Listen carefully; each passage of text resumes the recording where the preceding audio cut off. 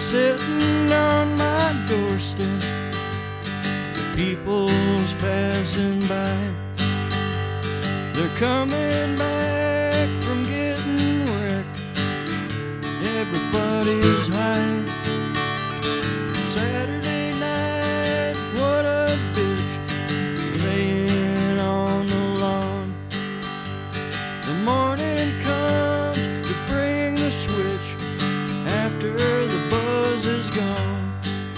Hello, and welcome to another episode of Addictions, the podcast about addictions. I'm your host, David Wagner. On this episode, we are going to be continuing our month long series on the negative stigmas surrounding the world of addiction. We are going to be speaking with two guests on today's show. Our first guest is a lifelong friend of mine and uh, actually recovering from addiction as well, while our second guest, Daniel Snyder, has around 15 years of clean time and he's actually now a major advocate for ending the climate of negative stigma in regard to addiction. Before we speak with our first guest, I want to remind everyone that you can find links to listen to our show on Apple Podcasts, Spotify, TuneIn, and Stitcher on our website at www.addictionspodcast.com. We also have all sorts of extra content and stuff on the website, including links to listen to every episode of the show and links and resources for getting help with addiction. And I try to update that website as often as I can with new videos and stuff like that as well. And if you're interested in becoming a supporter of the show, we have links to donate to the podcast via Patreon or PayPal to help me keep the lights on here in the studio. So be sure to check that out. Again, it's www.addictionspodcast.com. You can also follow us on Facebook at facebook.com slash addictionspodcast. And on Twitter, our handle is at addictionscast. With that out of the way, let's get down to business. Like I mentioned earlier, my first guest is a very good friend of mine and was actually my partner in crime for quite a few years, Sarah Sui. Like me, Sarah has truly experienced the absolute hell that addiction can bring and she makes some very good points in this conversation that we have. So let's give it a listen.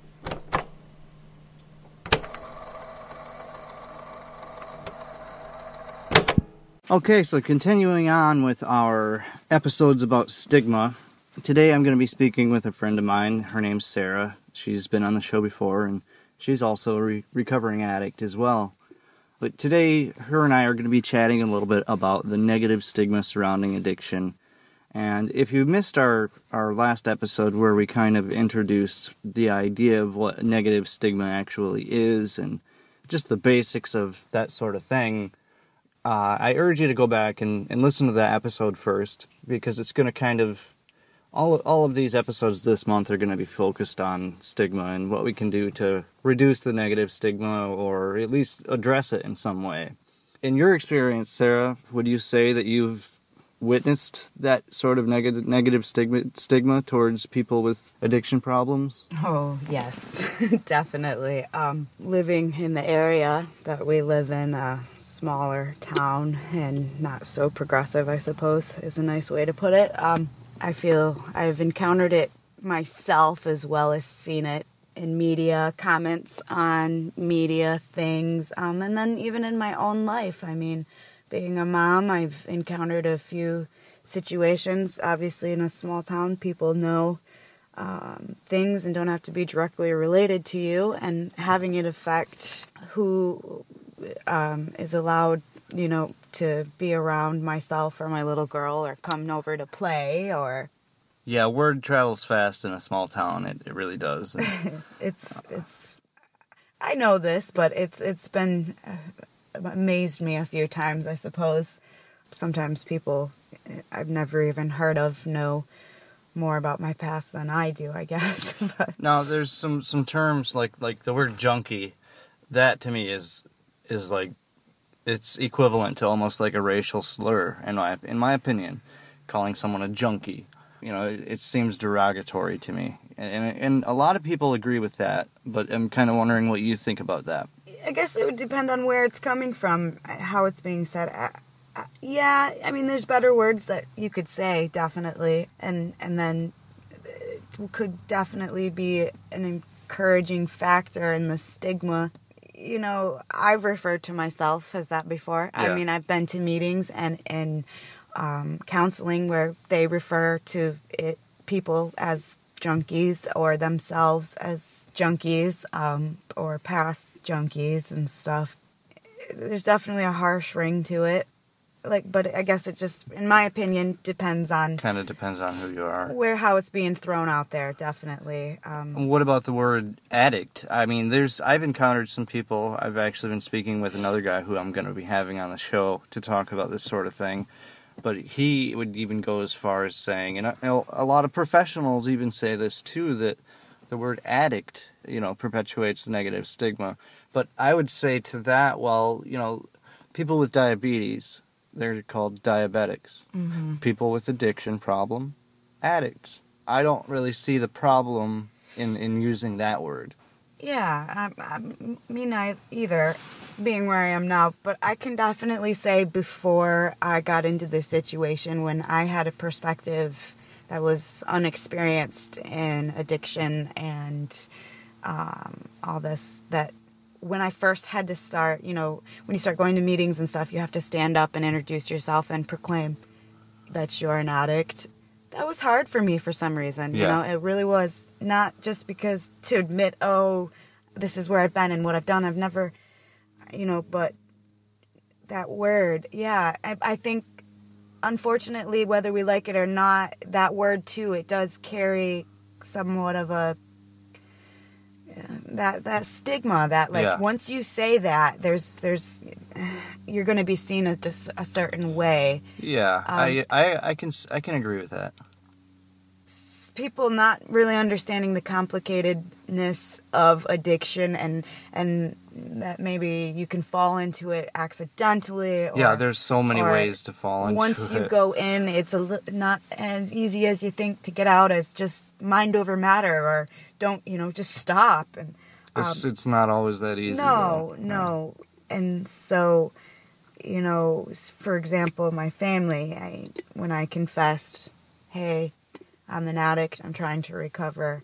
I can still see to this day, The Um, change. yes, and how I'm treated in my opinion and how it's taken and the weight it has anymore and then too kind of feel like I'm treated like that special child I guess you know like Yeah. oh be careful you know don't mm, she's an addict you know or I, I so I, I can understand maybe um people not liking the word because of the what's what society has put in it not necessarily what it means but how it's been used i guess Yeah, I, I agree. I mean, but it's hard to you know it's hard to do a, a show about addiction like I'm doing without using the, some of these words. oh And yeah I, I'm not trying to use these words in a derogatory manner. absolutely Uh, I do avoid the, the word junkie personally because I feel that that word is one of the worst. It's, you know, it seems like almost like an insult to so me. i mean i'm just curious what what would this guy have um, what's an alternative That's addict. that's what we were going to be talking about. Uh, person with substance abuse disorder could be one way of looking at it, but then but then there are people that have addictions that aren't they don't have anything to do with any sort of substance. They're addicted to gambling or they're addicted to you know Shopping, whatever yeah. shopping, spending money. working Uh, so what what would we do there? What would we label those people? You know. right yeah So it's there's a really kind of a gray area there, and I I, I, I want to be you know, quote unquote politically correct, and I don't want to offend anybody, obviously, yeah but you know we do need to explore that explore that aspect of the negative stigma part, but. There's there's other things I wanted to kind of pick your brain about as Okay. far as the stigma goes.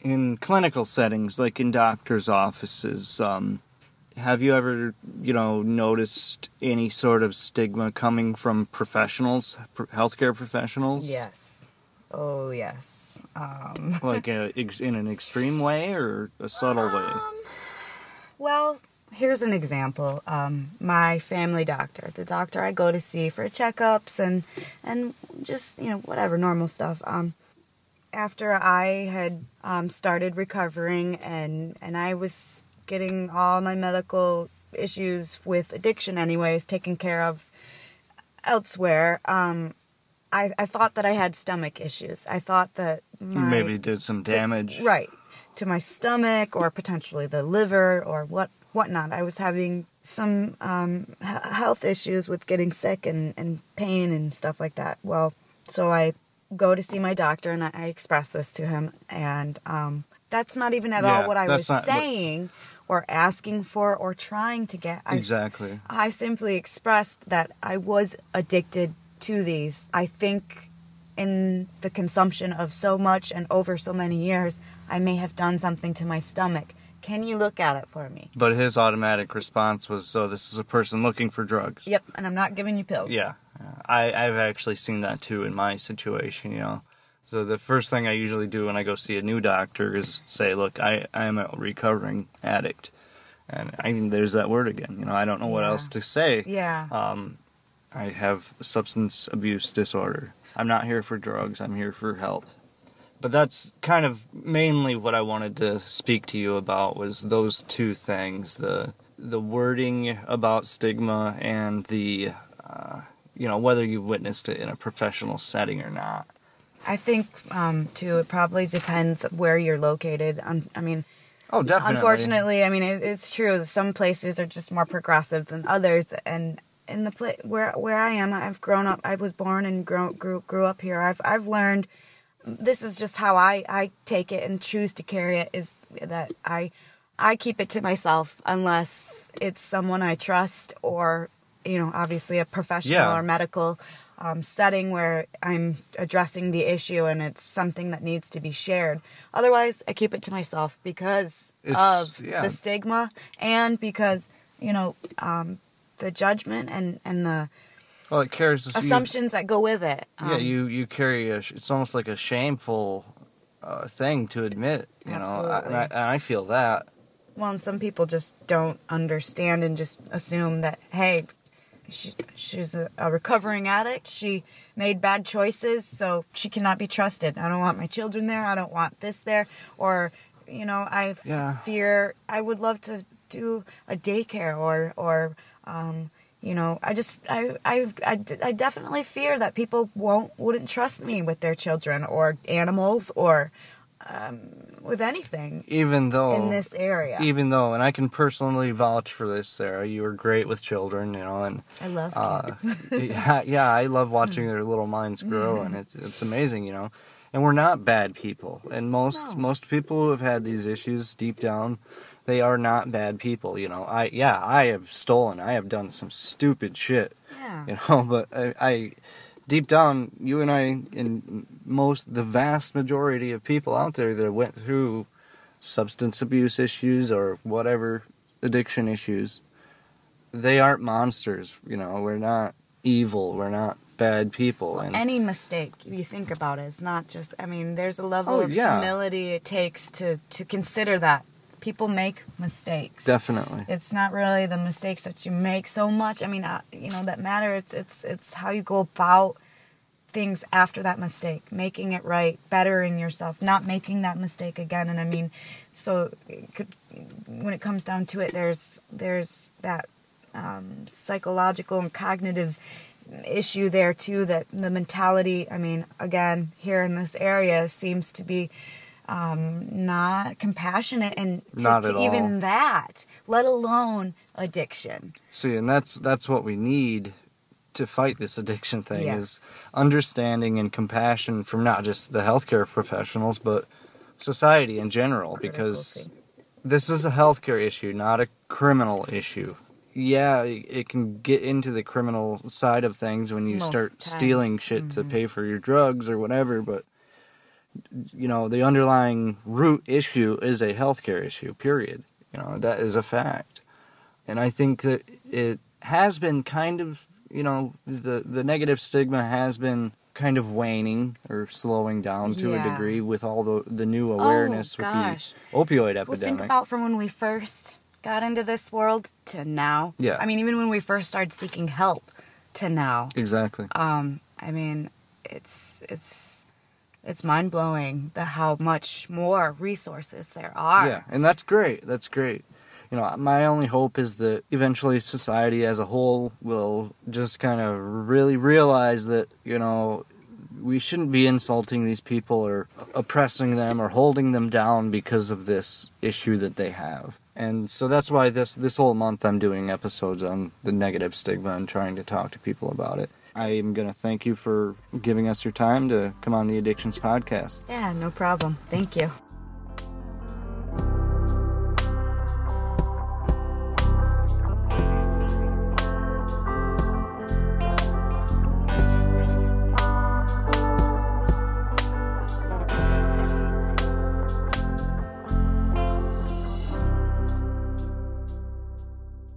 Again, I want to thank Sarah for being on the show and sharing some of her experiences and thoughts on this sort of negative stigma thing. Now, our next guest, Daniel Snyder, I actually met on Twitter. He's actually a fan of the show and sent me a message talking about how certain language we use can actually serve to perpetuate this negative stigma, even when we don't necessarily intend our words to have that effect.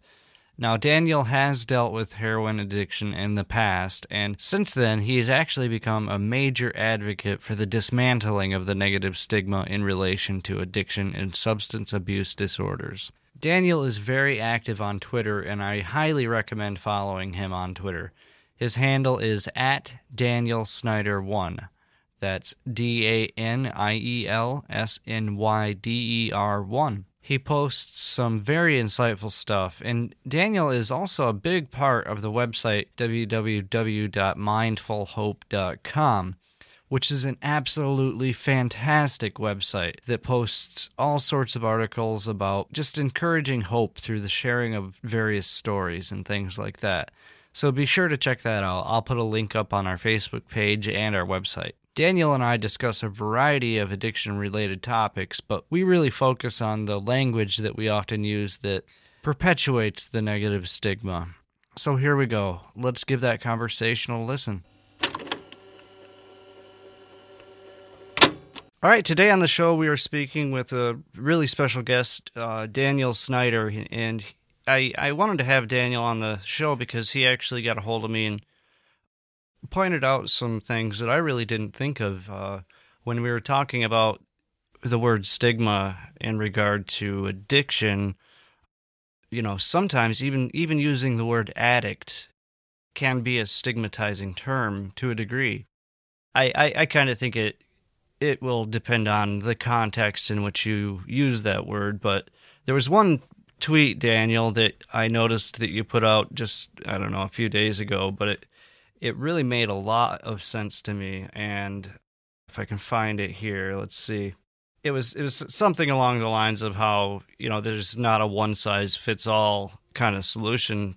You know we can't with a broad policy, you're not going to solve this addiction epidemic because you're going to find that you're going to need millions of different solutions because everybody's different and I, I, just thought that was really poignant. I thought that was really, really insightful, man. You know, I think that our listeners can uh, gain a lot from this conversation that we're going to have here. Great. Yeah. Hi. Thanks, David. Now, you you are a recovering you are recovering from addiction, correct?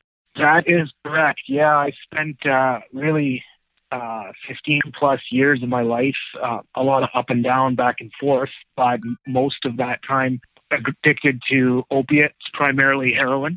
So it's been a journey for me, but uh, came out the other side, and uh, I love sharing my story and uh, encouraging and helping others find hope uh, in their circumstances.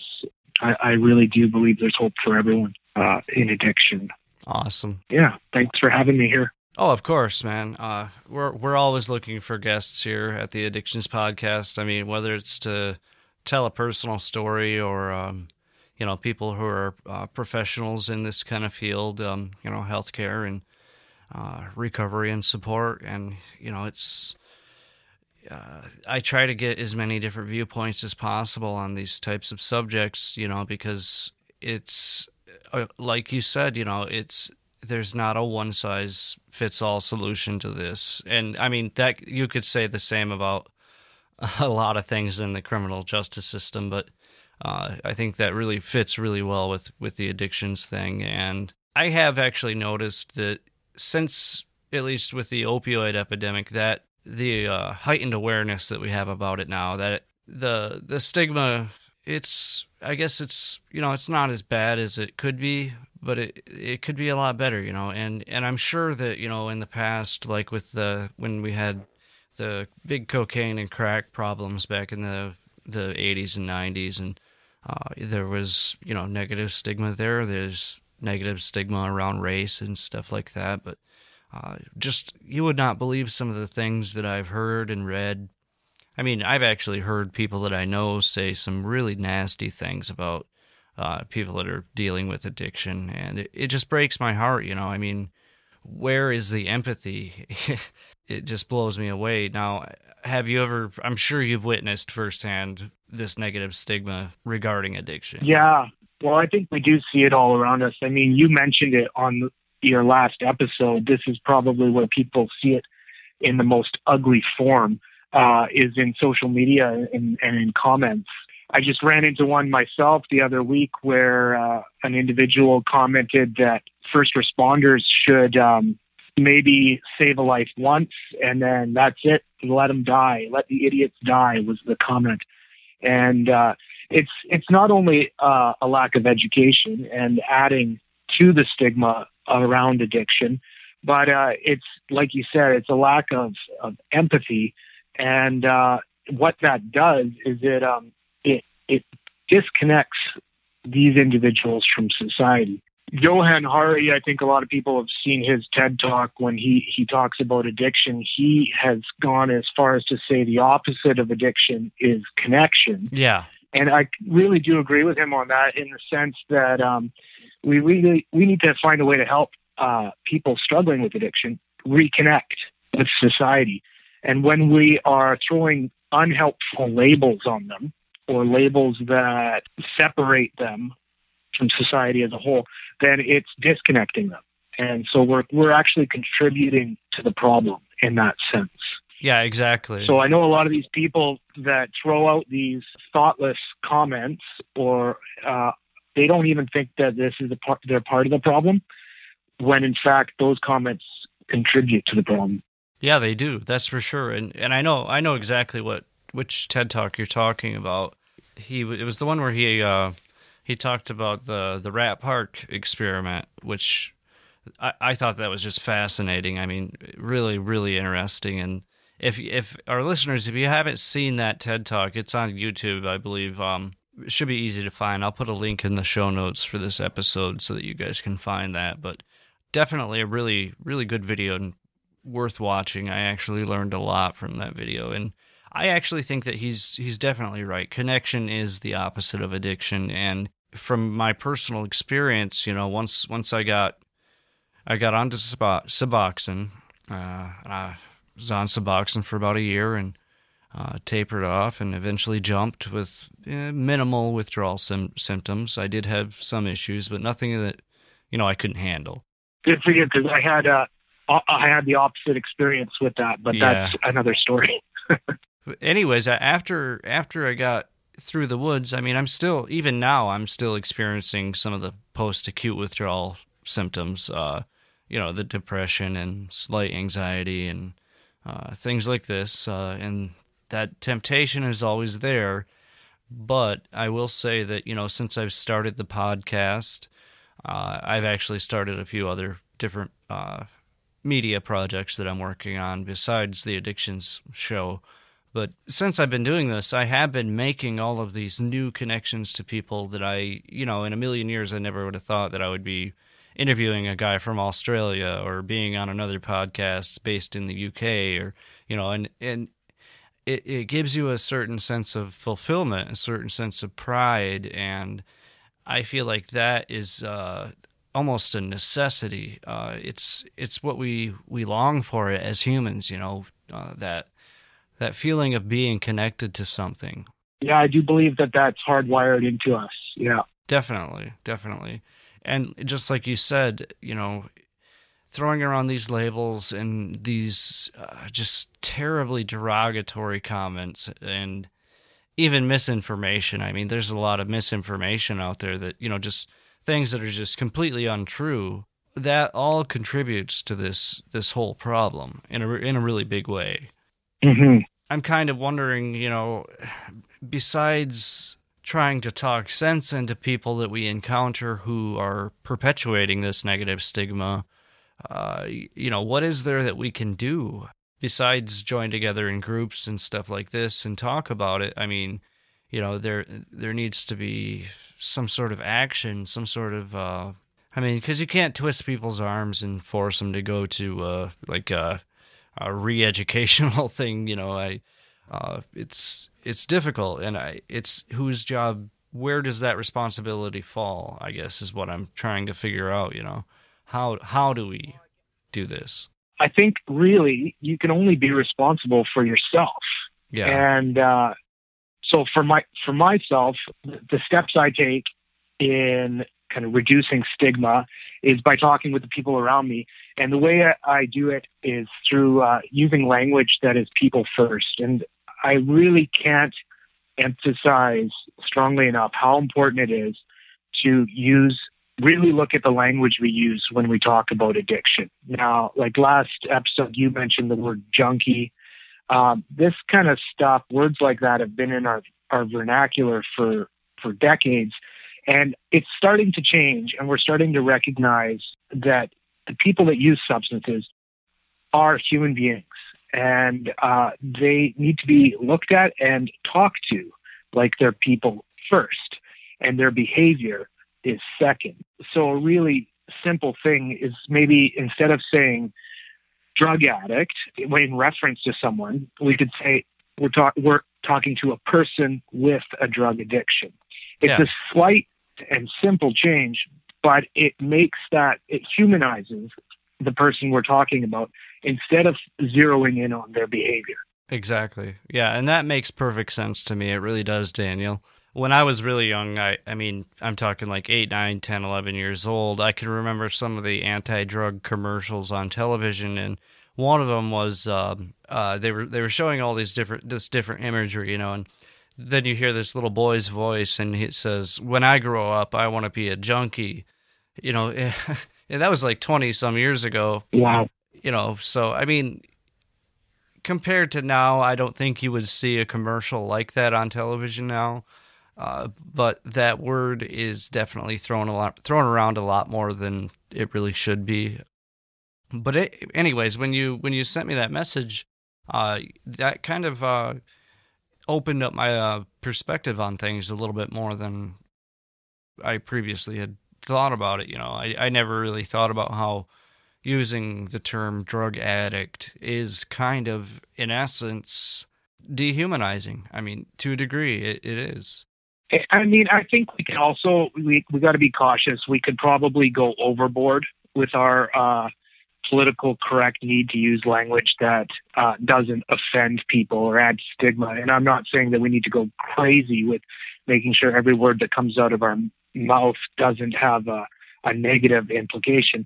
But um, there is here, here's another example for you, and one that I've tossed out of my vocabulary. Uh, I would often talk about clean time. Uh, the problem I now have with that is that clean implies the opposite of that is dirty, and it's just it's a negative picture. So ra- so now I'm clean. Well, what was I before? Oh, you were dirty before. What does that uh, stir in our thinking? How does it make a person feel about themselves? How they view themselves, their self worth, uh, and that sort of thing. So I've just tossed those words out, and I now instead of saying clean, I say free of substances. Yeah. And it's it's a, again a subtle change, but it, it it's got major implications. Definitely. You know, and I- I think, um, especially with people that are really fresh and new to getting into recovery from addiction, I think those words and stuff like that are really dangerous.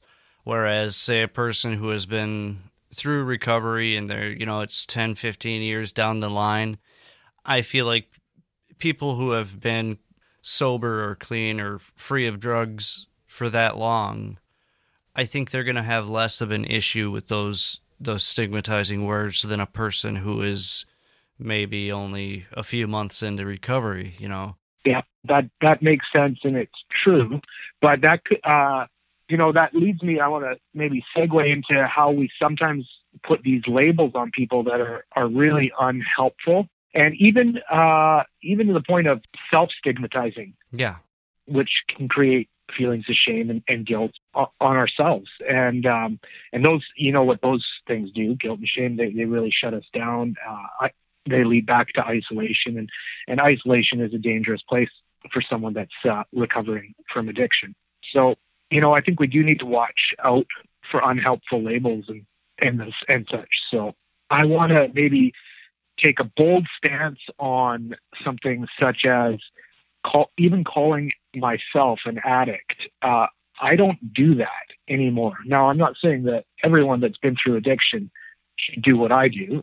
Some people might feel empowered uh, by by using that label on themselves, and if that's you, then you know what, go for it. But for me, I, I stopped doing that when I just applied a little bit of logic to to that term. You know, the 12 step uh, model suggests once an addict, always an addict. And uh, I found that perception, I found that to be a hopeless way of thinking for myself. It's kind of like, oh man, if this is uh, if this is all there is, then uh, how am I?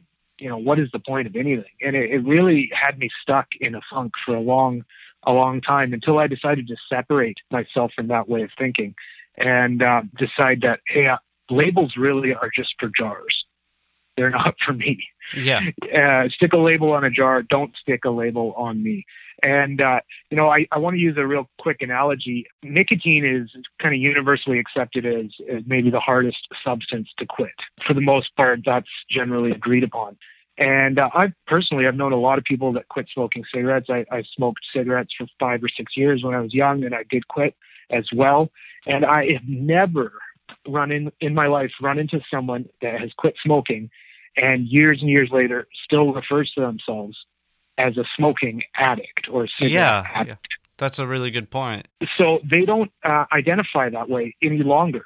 Why don't they identify that way any longer? Well, because it's it's not part of their life. They, they've moved on from that and and I don't want to put out the message of uh, like the dangerous message of complacency that can happen in recovery, in which well if you if you're you become complacent you can go back there, and I, I very much uh, agree that that's a possibility, but I also find that those unhelpful labels can keep us trapped into a belief system that's really just not true. Definitely, they definitely can, and you know, and we see it in the media too. I mean, it's not I wouldn't say it's saturated in the media. I mean, uh, we can kind of, in a, in a lot of ways, we can thank the media for spreading some of the awareness about the epidemic of the opioids. In the same token, that also kind of uh, it does perpetuate that negative stigma to a degree in some ways. Uh, because it's, I mean, you know, more awareness means more people are going to know about it, you know, and there, there, there are people that are a, a little um, ignorant to the subject, you know, and they they don't understand that this is uh, stigmatizing. You know, a lot of them they they may say these words without even really understanding the damage that they're doing. Yes, absolutely. And you know what? Another area I find that the media is really complicit in contributing to stigma. Uh, like I live in uh, well, just in Metro Vancouver area here in BC, Canada, and so the Vancouver downtown East End is pretty well known around the world as being a very small area, massive, massive substance use problems and mental health issues. And uh, when the media prints articles about, say, the opioid crisis or addiction in general, it's like every single time the imagery that accompanies it is from the downtown east end of Vancouver. It, it depicts street entrenched people uh, using substances on the street, homeless, and it's not, it's a stigmatizing view of people who use substances, and it is not even slightly accurate. Exactly. Uh, you know, addiction doesn't discriminate. Uh, whether you're poor or rich, uh, you you can still become addicted. It's you know, socioeconomic status has nothing to do with it. It's very true. I mean, 80% in in in Canada, 80%. Well, I'll, I'll talk about British Columbia where I live. Of the overdose deaths, 80% are men who are in houses. They they have a place where they live. They're not out on the street. So if this is the numbers, then why is the imagery? Now, I will give credit to our health authority here, uh, who have launched a new anti-stigma campaign, and they've got these posters up on bus stops around town, and they've got radio advertising. And uh, just an example of one of the posters is um, a picture of uh, a young lady that looks uh, like she's doing well in life, and the caption simply says "cousin, student, drug user, friend." And they're really trying to paint the picture that people who use drugs are real people. Yeah. They're not just these. They're not what many picture in their in their minds when they think about someone who is addicted to drugs. A number of years ago, I was sharing my story publicly, and uh, following that, I was approached by a woman who wanted to, I suppose, con- compliment me on my journey into recovery. And what she said to me was, uh, "I can't picture you as a as a drug addict." Those were her exact words. I can't picture you as a drug addict. My initial response was, "Well, thank you." You know, I mean, I guess she's complimenting me. But in in reflecting upon that and knowing what I know about stigma now, this is because this woman had a picture in her mind of what a substance user should look like. Exactly. And I didn't fit that picture because I was well dressed and uh, looked like I was taking care of myself. Uh, I didn't fit the picture in her stigmatized picture of a drug user. And uh, that's a problem. And it is changing. You, you mentioned that at the beginning, and it, it is changing in society. This message is getting out there. It's uh, it, it crosses all barriers, doesn't discriminate, as you said. You know, but we just need to continue talking about the importance of language, Yes. the importance of inclusion, all people, and uh, not all people that use drugs need to go to treatment either. No, no. I, I, I myself, I mean, I went through the Suboxone program, the replacement therapy stuff, and a little bit of counseling, but you know, I, I didn't, I wasn't involved in any, uh, you know, twelve step programs or anything like that. Um, but I, I, it just, it wasn't for me. You know, I, I had my own strategy, and I had a, a solid support group, and and that's that's what worked for me. You know. But one thing I wanted to say, you were mentioning um, that they're in um, uh, Vancouver. Uh, they had a like a anti stigma campaign going on, and that's uh, such a stark difference between Canada and the U.S. Here, here in the U.S., there's, at least as far as I know, you know, there's nothing major going on like that, and I, I really think that the states here we could benefit from from really spreading that word, and you know, I, I wish that uh, eventually that that could actually come to be here in the U.S. Well, good. I think someone needs to take some initiative there and start it up. Definitely, definitely. you know, you're doing your part, David, with uh, this podcast and just sharing this message to, And I hope uh, as many people as possible can hear it because uh, stigma does discriminate and it isolates. And well, I've already mentioned it, but the danger of isolation. This is where people die, and uh, is when they die and they die alone. That's something that I'd like to see changed uh, in regard to the opiate crisis. Is reaching the hidden epidemic, these people that are using substances alone in their houses uh, and they feel too stigmatized to reach out for help. And I, I really, I was one of those people. I, um, I always was housed and and employed uh, during the years of my addiction, and so services that were offered at street level, such as drop-in centers or shelters and the like, while it's difficult to admit, uh, I just saw those services as beneath me, and that that goes to my ego, but it also goes to um, the stigma that I felt that I would have been associated with if I went to those places. Yeah, and and that's another that's the that's the next thing I wanted to talk about was how this this negative stigma can actually uh, it can prevent people from wanting to go get the help that they desperately need. You know, I mean, it's there's such a shamefulness around it. You know, you don't want to be labeled as an addict. You don't want to be labeled as a junkie, or you don't want to f- feel that shame. But you know, there's no shame in getting that help. There really isn't. You know that that shame is an illusion. It's it's Mm-hmm. you know, you've got to do what you've got to do to get better. And, and there's nothing wrong with that. Steps are moving forward to realize that addiction really is and needs to be treated as a health issue and not as uh, a moral failing or uh, just someone that does nothing but make bad choices. That there's more going on there.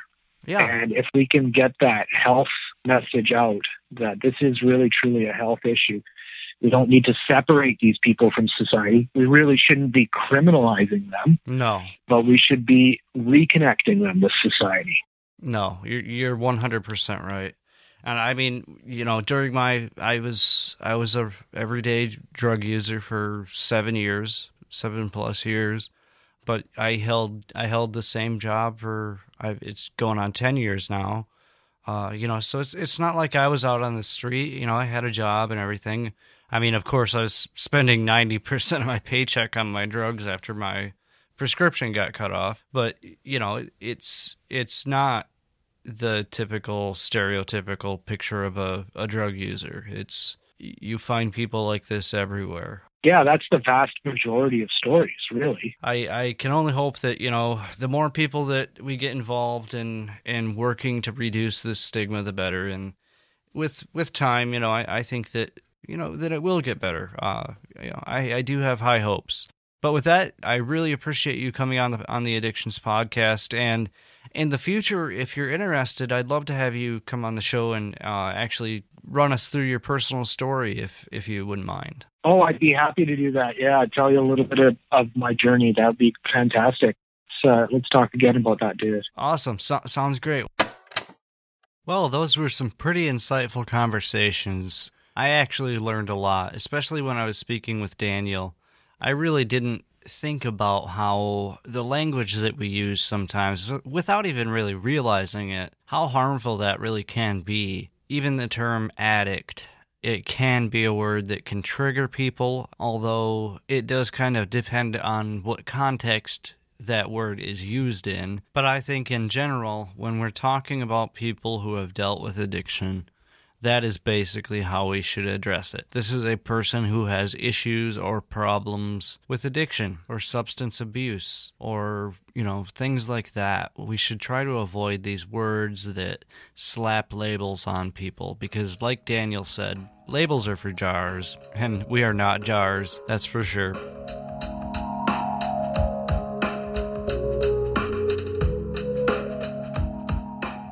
As always, I want to thank you all so very much for listening to this episode of Addictions. I'm David Wagner, and remember, never quit quitting. Freely, then you smashed your only car. You aren't what you are really. You missed it by so damn far.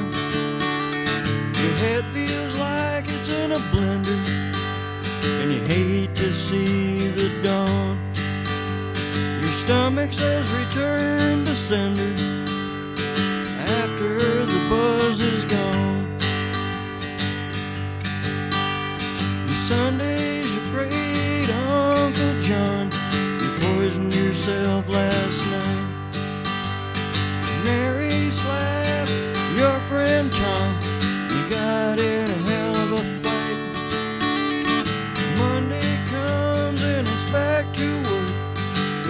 seems so damn long. The weekend's past, you're still a jerk after the buzz is gone.